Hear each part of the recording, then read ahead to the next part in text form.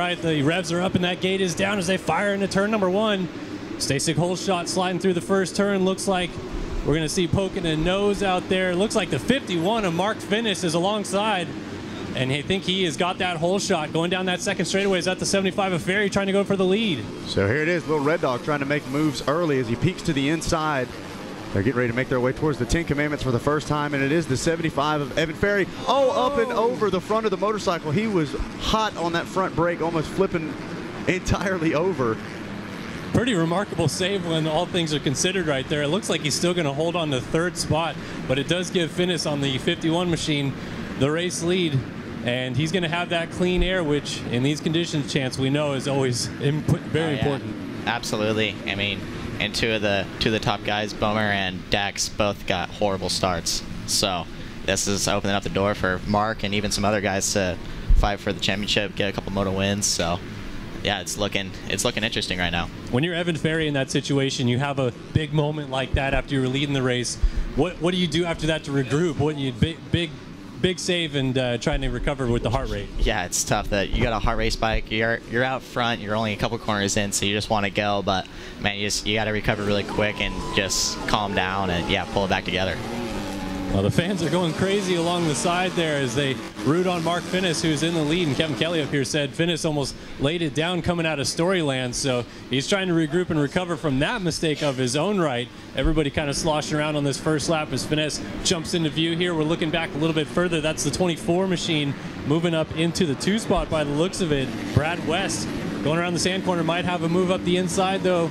That is going to be the 67, I believe, of Cody Williams trying to slice and dice his way in there as well.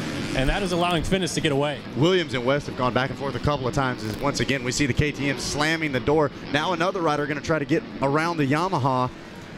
So a rider goes quickly from trying to make a pass to keep from getting past. And Yeah, that looks to be the 47 of Lux Turner. So just as you predicted, Chance, we're starting to see some Yeah. guys that we didn't see in the first moto maybe do so hot shining through in these conditions. Yeah, absolutely. The mud opens up a door for a lot of people to run up front, especially in the mud. The start's really, really important. Track gets one lined and there's only there's only a few lines around the track to make passes. So yeah, it's opened up the door for a lot of guys. So now, as our riders are checking in, it looks like Julien Beaumer in the ninth place spot and Dax Bennick all the way back in 15th. So uh, those two riders got their work cut out for them early here in this second 250 Pro Sport. Yeah, well, Bennick yesterday said he struggled a lot, or two days ago, I should say, in this moto, struggled a lot with finding lines. I think he's going to struggle a little bit more today with trying to find lines. But fortunately for him, this is going to be our longest motos of the day. He's got to have a lot of time to try to make up all these passes. 15th spot, though, you're going to be coming from a ways back. Yeah, it's it's tough, especially being this scenario. I mean, you're far back, and you you can see the guys out front that you need to be beating. So it's you're trying to get through the you're trying to get through the traffic, but in the mud, it's hard to it's hard to get going, and man, it's it's a tough situation to be in. Obviously, we've had a few other classes already hit the track here and kind of lay out some lines. From your experience racing here at the ranch, how different are those lines compared to what you guys maybe normally train on? Obviously, wear it in a little bit differently, right? Oh yeah, the race lines are always way different than the practice lines. I feel like. I mean, practice days you're trying to make good lines, to sweep open, cut back in, but on the out here, I mean, you have you have the you have a lot of different skill levels out here. 42 bikes on a track at one time, so there's going to be a lot of different lines that you would never even think of forming on a practice track. So you you almost have to just kind of go with the flow, and yeah, you figure it out along the way. Chance, we are seeing some of the best amateur riders in the country right now, flailing around, feet hanging off the pegs. Uh, are these guys just in a full sprint right now? Oh, I would, I would think so. I mean, you see some of these guys in that sixth, seventh, eighth position, and man, they're they're hustling, trying to get some clear track. I mean, it's easy. It's the easiest time to make passes when they're all in a bunch. I mean, when everyone starts spreading out, it gets tough. But I mean, Mark, Mark's looking kind of untouchable right now. He's starting to put a gap on Brad West, and yeah, he's trying to make a breakaway while he can. Well, if you think back to our first 250 Pro Sport Moto, Fineis came from a little ways back and passed a lot of the riders to get all the way to second. Oh, we got a rider down off the side of the track. That is Evan Ferry by the looks of it, taking his helmet off and trying to get it off his head. At least it looks like to be the 75 machine. He's not checking in on our leaderboard right now, so yeah, bummer deal there for Evan Ferry as he tries to get the helmet off. Not sure if he had a hard fall or something else maybe happened, but clearly struggling a little bit right there. Yeah, something going on with Ferry's helmet. They're trying to get that buckle undone. Curious whether it could have been something where the, the helmet strap got pulled up super tight and almost got locked in. And that's tough luck. Evan Ferry had such a great start, and then things quick, quickly started going downhill. And there we go. We're getting that helmet off of Ferry. And yeah, looks pretty bummed by that situation. Not sure what exactly happened. I mean, Chance usually it looks like he's maybe holding the side of his face or something. So have to imagine he probably landed yeah, maybe, on the, on that helmet a little bit. Smacked his head a little bit. I mean, it's man, it's a tough situation. What I'm watching, boys, coming through, we got Julien Beaumer and Daxton Bennick together now in the uh, 8th, 9th, 10th position or so back in Storyland. They were side by side heading into it, so that's going to be another one to watch. Remember, Beaumer won the first moto of this class. Definitely not where he wants to be. And Bennick got around him as they come back out of Storyland. So that's going to be interesting. And it's not where Bennick wants to be either, obviously. He's won both of the Open Pro Sport motos to start his week. And uh, another bad start in this 250 Pro Sport class, so he's got to get it figured out what's going on in this class for Daxton Bennick. Hasn't been working for him just yet. And, and right now he's in a heated battle. We're looking at the 24 on your screen right there. That is still Brad West and, and he is dealing with the pressure from Gavin Towers. So not sure where Lux Turner went. Looks like they both got around him and kind of dropped him. But Towers, he has got his eyes focused forward. He's trying to catch the 24 machine. I'm trying to see. That actually might be Trevin Nelson, who was another one of the Yamaha riders I expected to see towards the front. Nelson had a solid run yesterday. So that is, that was Gavin Towers. Nelson in the number five spot right now as Lux Turner makes a pass to move into fourth. Oh, Brad with a little mistake there. Yeah, Brad sliding out rear end around the corner there, and oh, it looks still in front of him. Looks like he was able to kind of use that outside line to keep just yeah, ahead there. Shot a little bit. I'm sure it's a little muddy off that inside roller when you land. So watching two Yamahas coming into the Ten Commandments, and look at how deep that rut is heading into the first commandment. Uh, Chance, you can definitely tell us better than we can. Uh, what's what's the technique going off of that first lip? I mean, it's tough. I mean, you're you're sliding, you're trying to find the line. You don't want to get cross-rutted. So I mean, you're trying to trying to weigh your pegs, trying to get as much traction as you can, but you almost have to just feed on the pegs and just as much balance as possible, especially when you start doubling through those things in the ruts. I noticed our fourth place rider, Lux Turner, already without goggles. We still have 12 minutes of this motor to go, and he is starting to eat some roost. We also see Daxton Bennick. He was seventh at the end of this lap. He's now up to six. He's gotten around Cody Williams. Beaumer is trying to stick with him, but Daxton Bennick on the move right now. A 205 lap time last time by was the fastest rider on the track, aside from our race leader, Fineis, who's still in that clean air out front pulling away. And another rider I saw with vision issues, Jaden Clough on the Kawasaki. He's got the roll-off streamers behind him already. Tough luck for the Kawasaki rider who had a fifth in Moto 1.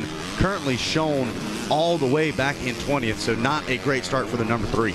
Now we get a look at uh, Bennick on our screen here. So he is he's charging. He's trying to catch up to this little group of riders we got battling it out just ahead of him. There you saw the 25 of Trevin Nelson. He is still right behind Turner, and Turner's doing everything he can to not let Nelson or perhaps even Bennick get by him because without those goggles, he is just going to be eating roost in those eyes without any goggles on. And here we go, watching this Yamaha battle continue side by side as they're getting ready to come through the finish line. Towers, I think, is going to make the pass. And Yep. I believe he did it. close it off there. So Towers makes the pass, but already the 34 or the 24 trying to make another move up the inside. West isn't finished yet. Oh, and Towers goes to the outside, so West had to back out of the challenge, duck back to the inside. He's alongside. He's going to try to shut the door through the mechanics area. They crisscross lines again.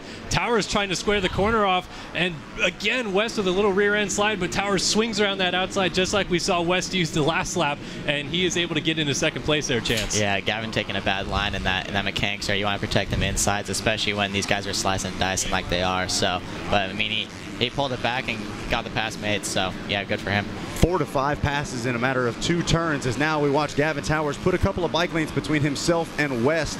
And chance that's all it takes. One good drive through those Ten Commandments, and you can open up a little bit of breathing room. Yeah, absolutely. One little mistake, and it can ruin your that whole pass through there. So he's you gotta make sure you get the first couple doubles clean and get through them. And talking about a little mistake, we just saw West not getting the drive coming up and out of that corner. The rear end was spinning, and now he's looking about half a second behind Towers yeah, Gavin's putting on a charge right now. I mean, he's got a he's got 12 second gap pretty much to to gap uh, gap to Fineis. So I mean, I think if Gavin can keep up the pace, get a little closer, but man, Mark's still putting down some good times. Yeah, hopefully for Towers in this situation, finally out of you know chasing someone, a little bit of clean air might help him, like we've seen with Fineis getting out front, nobody in front of him, so you're able to choose your own lines, choose your own options, and not get stuck following somebody. We take a look here at Daxton Bennick. I just saw he was almost oh, and then the 24 of West just laid it down at a third spot. So here comes that entire train we were just watching. They're going by. West is going to slide back to sixth. Bennick had almost gotten Trevin Nelson as we went into the commandments, and then he almost went down, went off the side of the track, was able to rejoin, still in sixth place, which is now obviously fifth place because we just lost West out of third. And Kellen, we say it all the time, style points given out here in this pro class. I'm not seeing a ton of it today, just wide open, no feet, one hand, whatever it takes. These guys are rolling out here.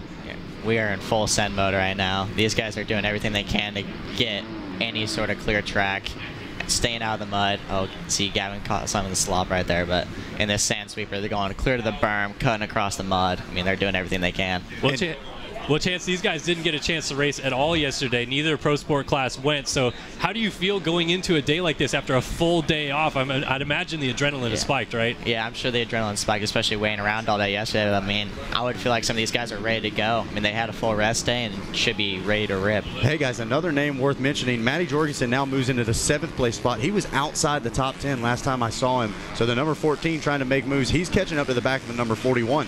Yeah, another guy, Parker Ross. He also got a bad start, but looks like he's come through the pack finally in that eighth place spot, making it in the top 10. So looks like he's starting to make some passes.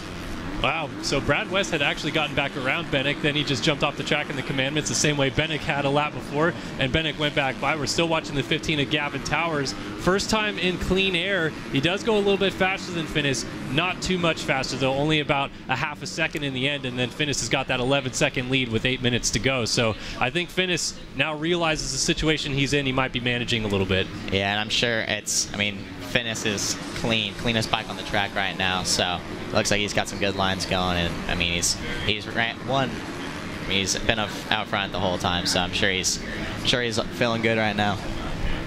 And watching Gavin Towers kind of lone soldier out there at the moment. Nobody immediately in front or behind him. Uh, but we've got probably 40 different riders that want to try to change that as Lux Turner, Trevin Nelson, Brad West, and the rest of this 250 Pro Sport try to take down Mark Fineis and Gavin Towers. Yeah, it seems like Bennick has maybe closed back up onto that battle that we have for third place as Lux Turner is still trying to keep Trevin Nelson behind him. Just saw uh, Bennick launching into the sand right behind these guys. As there is our race leader, Mark Fineis. We have not looked at him too much out front. He is in cruise control a little bit here, 205.8, so he's kind of weaving through some lap traffic. He is looking really solid, though, on that 51 gas gas.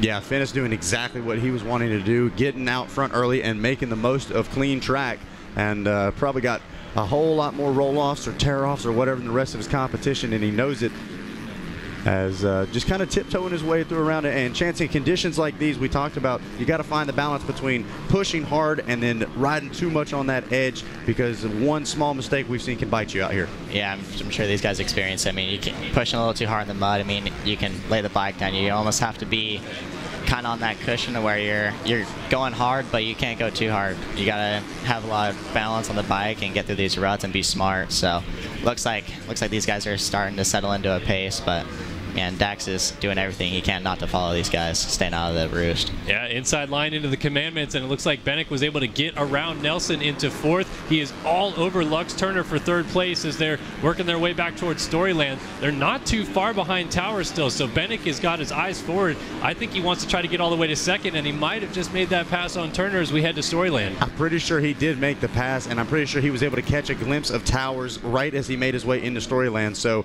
uh, Daxton Bennick, the man on the move right now, the number 41's headed towards the front.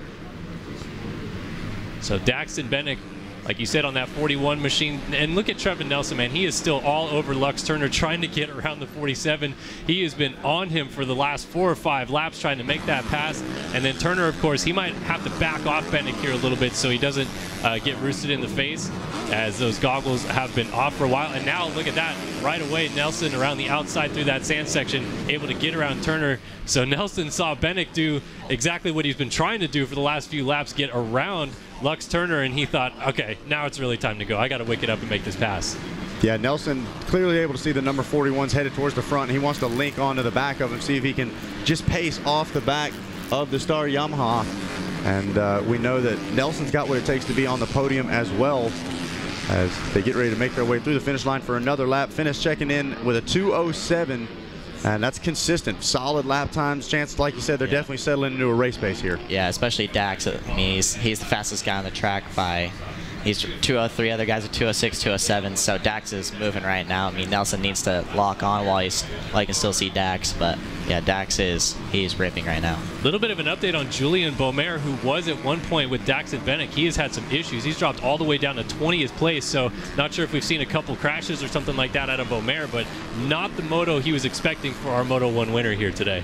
Yeah, absolutely. I mean, it looks like also Matty Jorgensen, and Parker Ross looks like they're coming through the pack together. They've got a couple positions each of them, so can't really see them on the track, but looks like according to the timing, they're coming through together. All right, Daxton Bennick is slowly but surely starting to reel in Gavin Towers for this two spot as they head to Storyland. You see Mark Fineis now in Storyland on our screen working through some lap traffic. Unfortunately, rider down right there, but definitely looks like Tow- uh, Bennick, I should say, starting to eat that gap down to Towers. And, and as you said, 203 last time by, he is our fastest rider on the track. And it's not really close either. He is absolutely moving. Right, absolutely. But only thing Dax has against him is he only has four minutes left, so uh, it's it's gonna be tough. I mean, it, Mark's looking pretty solid right now, but it looks like Dax is gonna need a big mistake from him and Gavin to to get past him.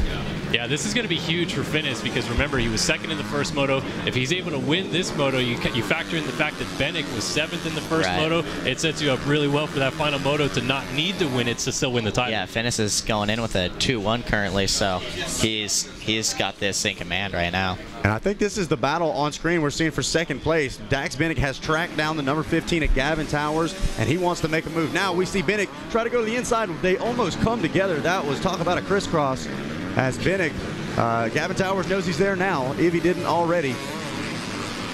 So now the question really for Towers is can he pick his pace back up to what he was doing a little bit earlier on to match what Bennick has been doing to get to him in the first place? So this guy's not able to get that triple right there. Uh, Chance, what are you Yeah. seeing out of Daxton Bennick? Is there any spot that he looks a little bit better right now? Yeah, I mean Dax is Dax is on attack mode right now. You can see Gavin's trying to he's maybe looking like he's trying to survive a little bit, but also he's he's focusing on what Dax is doing right now. So I mean Gavin needs to focus on going forward and that's all Dax has been doing this whole mode. I mean you can see Dax is switching up lines, he's not following, he's he's wide open. So yeah, Gavin needs to get going forward. He's he's kind of in survival mode right now. And Into- much easier said than done. Focusing forward when you've got the 41 banging on the door right there. Towers, I think that was a good line headed into the commandments. We'll see whether or not Bennick's got a hot line. He's able to triple out. And does he force the issue? There it is. I think this is going to be the pass for the lead. Standing up through majority of that turn. Towers tries to remount a charge, but that's going to do it. Daxton Bennick takes over second. Yeah, Bennick with a nice move right there. I saw him a few laps in a row starting to bust that triple, leaving the commandments as he rolls in and two, two, two, three all the way through there. And uh, that's the first rider I've seen busting that triple out in these conditions. Chance, that is Yeah. really a big line. Yeah, I mean, looking at it right now, it's complete slop right now. Ruts from left to right. So, yeah, if you can start getting some of those triples down and start getting some of the bigger jumps you can do when the track's drier, I mean, you're going to be putting a couple seconds down each lap. Two lap card has gone out already, so we're about to see the white flag this time by as Mark Finnis rolls over the Rocky Mountain just in our camera view there. Now, if you're Gavin Towers right here and you see Bennick go by, what are you trying to do? What are you trying to see with him ahead of you now? Man, I would. It's. I mean, obviously it's easier said than done, but you need to you need to latch on and try to follow him through. I mean, obviously Dax. He knows Dax is coming through the pack and is the fastest one, so he just needs to latch on, find some of the lines that Dax is doing, and yeah, go for it. Yeah, I think Towers has got to make sure he stays on this podium because uh, I, I, you guys, a chance I'm sure you can talk about this. He probably knows, hey, Dax didn't have the best first moto, so yeah, he might be in front of me right now, but that's not who the championship fight is immediately. Uh, Dax getting eighth in Moto 1. Gavin uh, able to pull off a third there, and Fineis trying to capitalize from a second in Moto 1 to a first here in Moto 2. Yeah, and also also Gavin needs to not make any not make too many mistakes because he's, Nelson isn't very far back. So if Gavin wants any shot of this title, he needs to stay in third. Yeah, Trevin Nelson has just kind of quietly been hanging out in the background while those two started battling for second place. And now, like you say, the opportunity is knocking on this final lap to maybe make a little sneak attack on the last lap and kind of catch Gavin Towers napping and get on the podium. Yeah, I mean these guys are these guys are going for it. It's it's tough in these conditions. Like you want to go as fast as you can, but the mud's the mud's a definitely a game changer. Now, of this group of riders, I'm not sure how well tuned you are with this current crop, but you know, is this what you expected to see from this group in terms of these conditions? Is, is this looking like you know your favorite mud riders shining through here? Yeah, I would say so. I mean, there's a lot of guys that I feel like should be farther up front that had some bad starts, but I mean, I kind of figured Dax would be really strong and would be really strong right now. I mean, even Mark, Gavin, and a lot of these guys that raced um, last year, so they were all. I mean, they were all good last year. I would assume they would be even better. So, yeah, they're all they're all kind of doing what I expected. All right, there is our leader, Mark Fineis, working the final lap, hanging off the back of that gas gas one final time. He's going to bring us over that rocky mountain. You can see Bennick, he's still charging all the way to the flag here, trying to get it as close as possible, but Fineis had just enough of a gap, it looks like, to be able to cruise this thing home. A couple riders down in the, uh, the sand sweeper, the Thor sand sweeper right here as Fineis goes by our window on the final lap. And uh, Mark Fineis looks like he's going to pick up this win, Zach. Yeah, no, Mark Fineis getting the job done as he makes his way towards the finish line for the final time. 250 Pro Sport Moto 2 going to go to the number 51 of Mark Fineis getting the job done. And thought that was him coming towards the checker flag. I had it all timed out, but I was wrong. There is the clean number 51 coming across the line and grabbing the win. And chance that I feel like if you're somebody like Daxton Bennick after that kind of start, you got to be satisfied with working all the way back to second. Yeah, I mean, obviously, I'm sure he's a little bit bummed because he saw the win right there. But man, starting that far back and getting up to being that close, I mean, you, that's something to be proud of, I'd say. Now you go back to the hauler after this one chance. You see Bennick late in the moto. He's running 204s. He's going a lot faster uh, late in this race, like we see here. Uh, you know, what is the debrief like after this? Just all about the start, I'm assuming, right? Yeah, I mean, his race was over at the start. That's pretty much how it goes. So I'm sure they're going to go back, and I'm sure they had some guys taking some videos and figure out what's going on. So yeah, I'm sure he's going to go back and focus on them starts and yeah, get it good for Open Pro.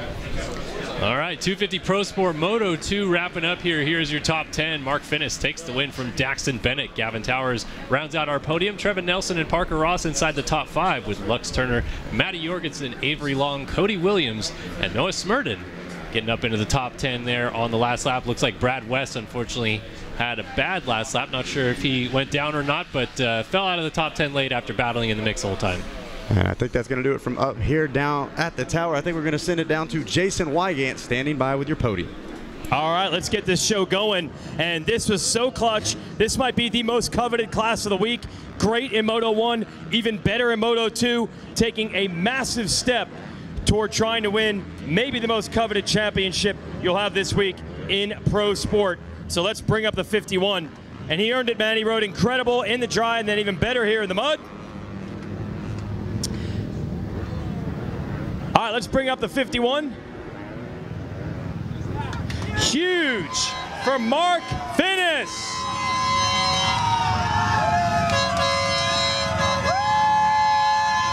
They are going crazy down here, and that's what you want to see. I mean, this is a massive moto win. Look, you've always had speed. I know you're not afraid to jump. This year you're showing fitness, you're showing you can get it done in the mud. You're ready.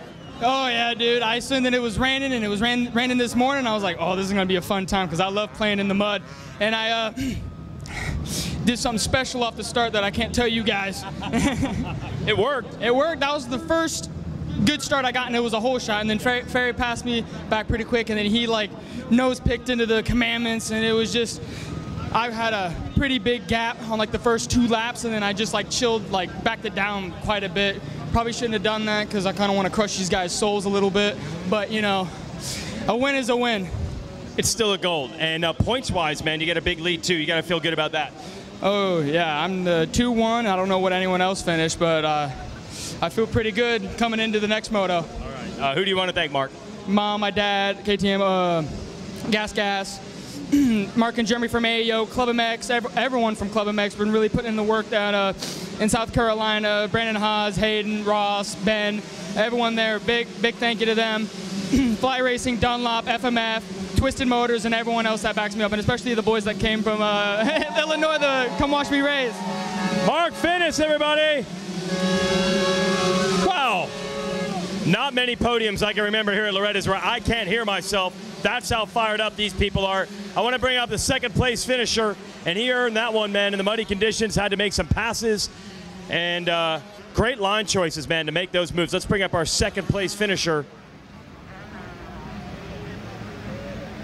and still a shot at the title if things would have bounced the right way.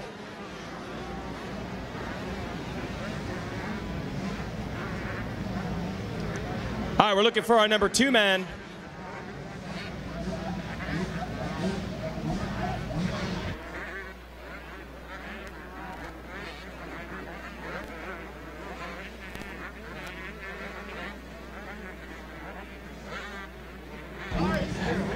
Well, this is quite a comeback here. I mean, way back out of the top 10 to make this thing happen.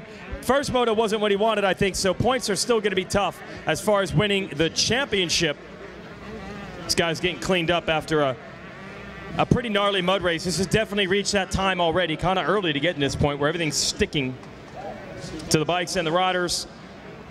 What a comeback. It's here for Dax Bennick.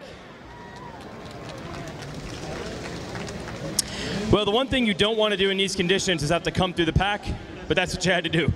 Yeah, man, we uh, we weren't sure on the start. You know, it was tricky. Didn't have a great gate pick, and uh, I came out pretty pretty buried. So I had to put my head down and charge. And uh, yeah, I descended the whole moto, and I felt really good. I cut that gap a lot. So uh, yeah, I'm happy with my riding. Moto 1 in this class was tough on you. What was the, the issue there? Because you've been great in every moto except that one this week. Yeah, I just had some arm arm problems and uh, not great sleep. But yeah, uh, we had to rebound and um, feel like the best I felt on the bike was today. So uh, yeah, I'm ready for the next moto. You never know. Moto 3 could still be in it. Who do you want to thank? Uh, the Lord Jesus Christ, my dad, my whole family, uh, my mechanic, Morgan, Georgie, Swanee out here, Beeks, my agent, and uh, yeah, everyone, the whole Star Racing Yamaha team back home watching. Thank you very much, and uh, yeah, we're gonna get it done. All right, there it is. Dax Bennick, second place. And looking for uh, Gavin Towers, who takes third. And he made some passes as well to get there. Here comes Gavin. Had some great battling. Him and Brad West really going at it for a second early in this moto. He will end up in third. Let's hear it for Gavin Towers. You got any uh, Western PA mud races in your time? Yeah, but for the most part, we've been uh, on the West Coast for the last like two, uh, better part of the two years um, since like I got on big bikes, and uh, so. But you know, you never forget your roots. Uh, racing up at Steel City before it shut down High Point, you know, I'm pretty sure the only weekend out of the year that those things ever or those tracks ever were dry was for the Pro Nationals. So, uh, so we got used to that. Um, pumped with that ride, but dang, I wish I would have held on to the second place just for, you know, that one extra point against Mark. But it is what it is. Uh, pressure's more going to be on him for this one, so sitting with a little bit three versus two or uh, six points. So see how it shakes out. Get a good start. Um, yeah, but those guys are riding awesome. He got a good hole shot, got clean air, but uh, just just dug deep. I mean, that track is brutal. It's not everything's pretty pretty deep. It's, you can get through it pretty good, but you get to those Ten Commandments, and I swear you just lock up. So, but all in all, great ride. Another, we're back up on the podium, which is awesome. So, I just want the, uh, you know, we want the gold. So, but you know, another podium's good. Who do you want to thank, Gavin? To thank my, my sister Sydney, the whole NSA Yamaha team, everybody over there, my mechanic Carter, Dan, Jake, everybody over there, my trainer Swanee and uh, Jeannie, keep me fit. Uh, 100% goggles, keeping the vision clear. Uh, Dunlop tires hooking up great. Uh, just everybody, Moose, Parts Unlimited, Monster, Monster Mike, can't thank them enough. Just there's a whole village behind us, and I'm I'm super stoked to uh, finish out the week strong. Gavin Towers.